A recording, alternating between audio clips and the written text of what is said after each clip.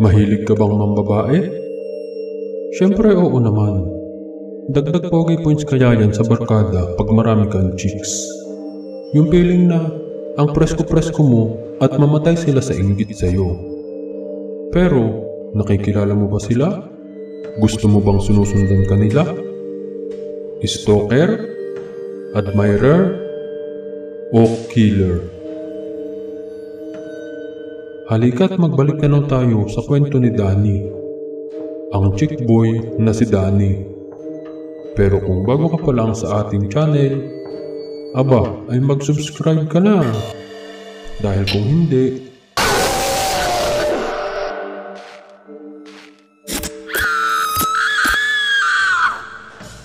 Si Danny ay nananatiling binata magpasa hanggang ngayon.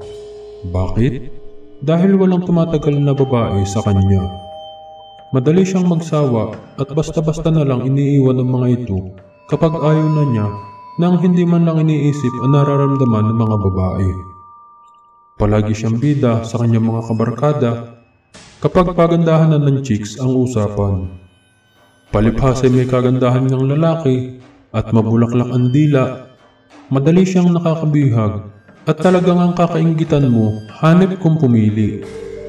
Pambato wika nga nila, pwedeng pwedeng panggala sa kalye at hindi pambahay lang. Pagkatapos niyang mag-aral, siya ay nakapagtrabaho sa isang kumpanya sa Laguna at syempre malayo sa kanyang bayan, nagrarenta siya ng apartment. Sariling apartment at ayaw niya ng may kasama kahit na medyo magastos ayos lang. Solo mo naman ang kwarto at pwedeng pwede kang magdala ng chicks anumang oras mo gustuhin. Kapag walang pasok, nagkakayaan sila ng kanyang mga katrabaho sa isang kilalang gimikan sa may bahagi ng Santa Rosa sa Laguna. At doon nila ginugugol ang buong gabi na inaabot pa ng umaga minsan kapag nagkakasarapan. Minsan, isang Sabado ng gabi, habang nasa gimikan ang barkada ni Danny, merong isang nakaagaw pansin sa kanya, di kalayuan sa kanilang pwesto. Merong isang napakagandang babae ang nakaupo sa pinakadulong mesa, malapit sa may sulok. Nag-iisa lang siya dun at tila ba may hinihintay na kasamang paparating. Nabighani si Danny sa itsura ng babae. Dahil lutang na lutang ang kagandahan nito, kahit pa natatakpan ng mahaba niyang buhok ang kanyang mukha at nangingibabaw siya sa kadiliman sa loob ng patay sinding ilaw. Gusto sana siyang lapitan ni Danny, pero nag-aalinlangan ito dahil baka boyfriend niya ang hinihintay niya at magkaroon pa ng hindi magandang pangyayari sakaling maabutan silang magka-table. Nakontento na lang siya sa pagtitig sa babae. Okay na rin yun dahil saktong-sakto naman ang pwesto ng kanilang table at tapat na tapat sa pwesto nila na kahit pa maraming tao ay maayos niyang natatanaw ito. Pero sa kahabaan ng gabi, nanatiling nakaupo lang ang babae at walang dumating ni isa mang kasama niya. Lumipas pa ang mga araw, palagi niyang nakikita ang babae sa kaparehong kaparehong lugar na yun sa dulong mesa kung saan una niya itong natanaw. Dito naisip ni Danny na baka mag-isa lang talaga siya at may pinagdadaan ng problema. O baka naman naghahanap siya ng kalinga, pwedeng pwede siya doon wika niya sa sarili. Sinabi niya sa kanyang mga kaibigan ang pangyayaring yun, ang tungkol sa isang babaeng palagi niyang napapansin na mag-isa at nakapagyabang pa siya sa mga ito at kumpiyansa sa sariling sinabi sa kanyang mga kaibigan na balang araw ihaharap niya ito sa kanila. Mukhang tinamaan na nga ata si Danny sa babaeng hindi pa man niya nakikita ang itsura sa malapitan. Ngunit malinaw naman at buong buo ang imahe nito sa kanyang isipan na iniisip pa niya hanggang sa pag-uwi at pagtulog. Isang araw, pagka-uwi niya sa apartment galing sa trabaho, napansin niyang nagbago ang itsura ng kanyang kwarto. Maayos ang kurtina, nasa tamang lalagyan ang mga tsinelas niya, nag-iba ang pwesto ng mga gamit. Naging maaliwalas ang lahat sa kanyang paningin. Malayong malayo sa itsura na iniwan niya bago pumasok. Napalibas ay lalaki, basta na lang makapamahay. Nagtaka siya ba't nagkaganon? Wala naman siyang inaasahan dadalaw sa kanya ng mga araw na yun. Pero hindi niya pinansin ang kakatwang pangyayari at inisip na lang niya na may nagmagandang loob na nag-aayos ng kanyang kwarto habang nasa trabaho siya. Kinabukasan at ng mga sumunod pang mga araw, ganun na naman ang eksena. Sa tuwing uuwi si Danny galing sa trabaho, napapansin niyang meron talagang pumapasok dito dahil nagpapalipat-lipat ang mga gamit niya at nagkakapalit-palit ng pwesto ang mga ito. Pagpasok niyang muli sa kanyang trabaho, naikwento niya sa kanyang mga kaibigan ang tungkol sa nangyayari sa kanyang kwarto. Nagwika siya ng ganito. Mga pare, alam niyo bang sa tuwing darating ako sa apartment, nagkakapalit-palit ng pwesto ang aking mga gamit at merong umaayos sa paligid? Sino kaya yung taong yun? Pwede niyo ba akong samahan sa pulis para mahuli ang namamasok ng kwarto? Siya nga, sagot ng isa sa kanyang mga kaibigan.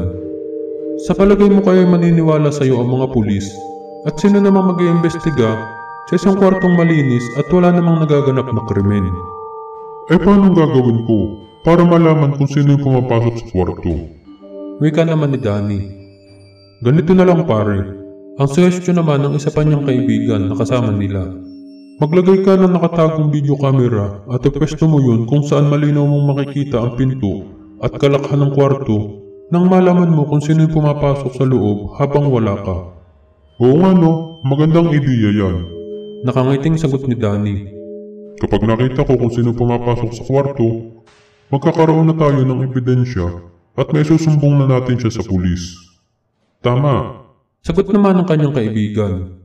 At kapag wala kang nakita, pumunta ka na rin sa pulis para sila mismo ang magdala sa iyo sa mental hospital dahil nababalon ka na siguro. Sino pa naman mamamasok ng kwarto para lang maglinis? Ang swerte mo naman.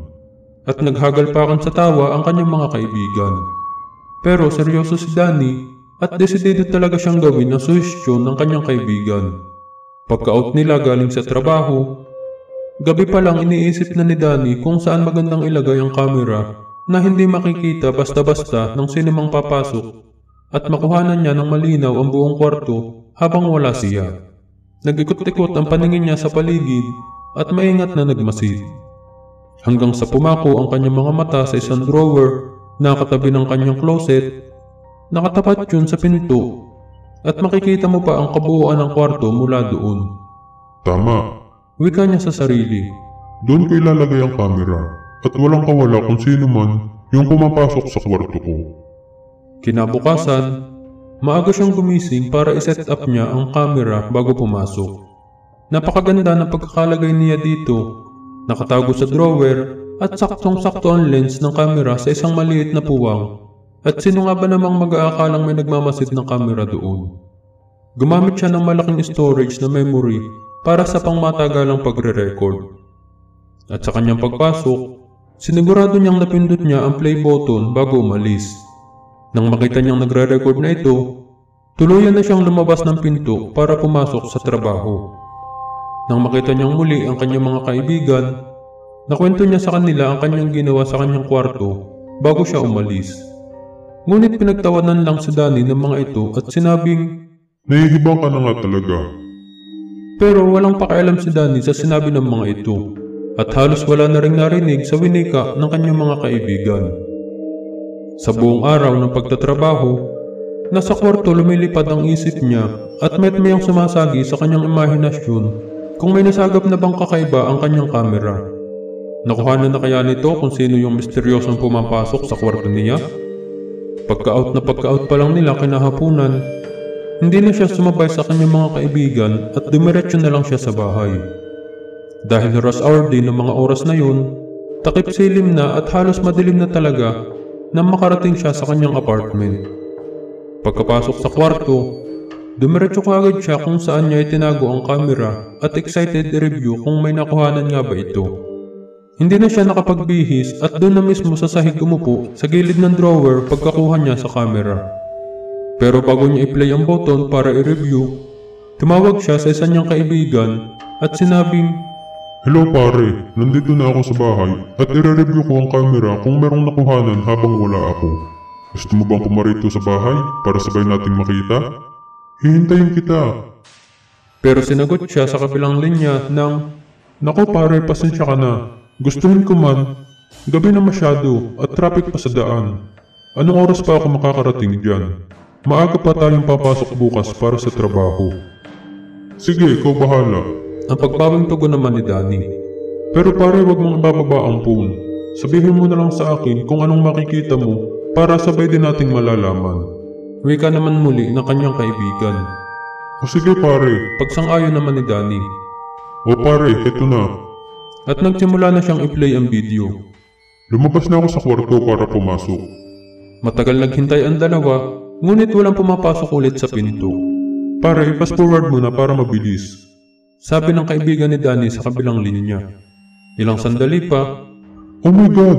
Oh my God! pagkagulat na wika ni Danny. May pumasok sa pinto pare. Babaeng mahaba ang buhok, nakasaya. Oh talaga? Sino? Sino siya? Nakikilala mo ba? Nasasabik na tugon ng kanyang kaibigan.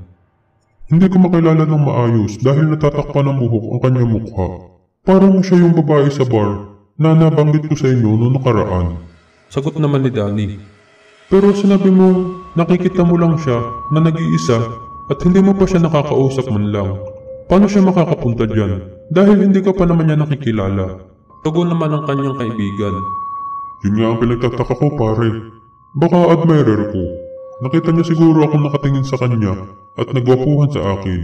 At pag sinuswerte ka nga naman. Ang lupit mo talaga pare. Ikaw na talaga. Naiingit na tugon naman ang kanyang kaibigan sa kanya. Ano pa? Ano pang ginagawa niya sa kwarto? Muling pagtatanong nito. Umiikot siya sa kwarto pare na parang may hinahanap na kung ano. Oh my God! Oh my God! Pagkagulat na naman ni Danny. Bakit pare? Anong ginagawa niya? Meron siyang inilabas na kutsilyo pare. May dala siyang mahabang kutsilyo. Naglalakad. Aba, at pumasok pa siya sa closet. Ebidensya na to pare. Tara, samahan mo ako. Ipapakita natin sa mga pulis. Sige pare, tara, sasamahan kita. Magkita tayo sa loob ng 30 minutos. Saglit lang pare. Teka lang. Meron pang isang papasok sa kwarto. At pareho silang natigilan habang inaabangan kung sino yung papasok. Hayes, ako lang pala. Nakauwi na ako galing sa trabaho. Wika ni Danny. Tara na pare, pumunta na tayo sa pulis. Pero noong mga sandaling yun, napagtanto ng kaibigan ni Danny na katabi lang niya yung closet kung saan pumasok yung babae. Kaya't pasigaw na winika nito sa kanyang kaibigan. Pare, lumabas na ba yung babae sa closet? Hindi siya sinagot ni Danny at muli niyang inulit yung tanong. Yung babae pare, lumabas na ba siya sa closet? Pumasok siya dyan bago ka dumating. Lumabas na ba siya? Ilang sandali pa, may narinig na lang siya.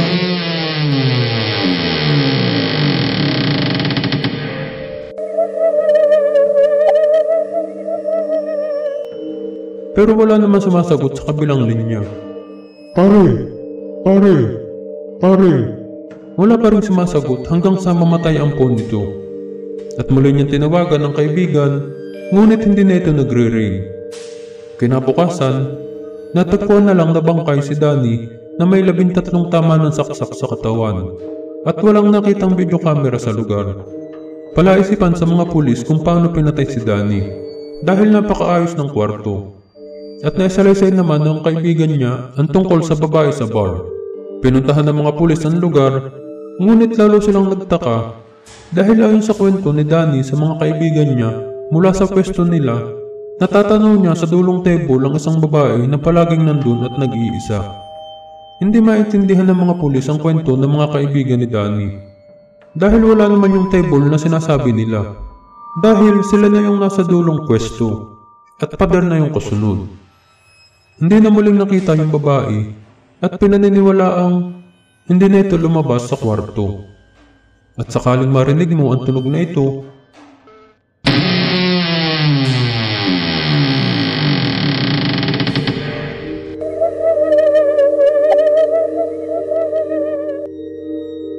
magtago ka na dahil baka nandyan siya sa closet mo.